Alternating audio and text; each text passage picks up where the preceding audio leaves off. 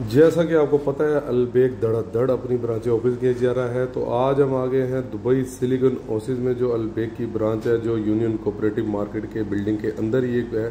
اور یہ اس کی باہر سے بھی انٹرنس ہے، اندر سے بھی انٹرنس ہے، ماشاءاللہ سے۔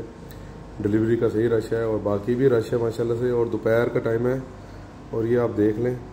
آرڈر پہ آرڈر لگے ہوئے ہیں اور یہ ان کی سیٹنگ ہے۔ جو اندر یہ سیٹنگ ہے اور پھر باہر کی سائڈ بھی کافی سیٹنگ ہے ان کی۔ اور سب سے اچھی بات ہے کہ یہاں پہ بھی آپ کو بروسٹ ملے گا، ٹھیک ہے؟ تو بروسٹ بڑی کم جگہوں میں ملتا ہے، ایمرس مال ہے، دبئی مال ہے، اور ادھر ابھی مل رہا ہے۔ اور جو ابھی گریر مال میں آپ کے گرور سینٹر جو ہے دیرہ میں فش راؤنڈ بورڈ کے پاس، ادھر بھی البیک اوپن ہوا ہے، سنا ہے ادھر بھی بروس مل رہا ہے۔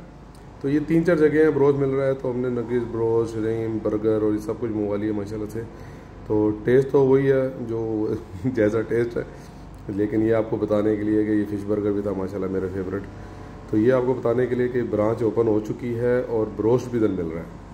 تو جیسے پہلے برانچیں اوپن ہوئی تھی زائیہ میں اور کراما میں مطلب برجمان کے پاس ادھر اور الکھیل پہ اور ادھر ادھر سب جگہوں پہ، پٹرول پمپوں پہ، تو ادھر بروس نہیں تھا۔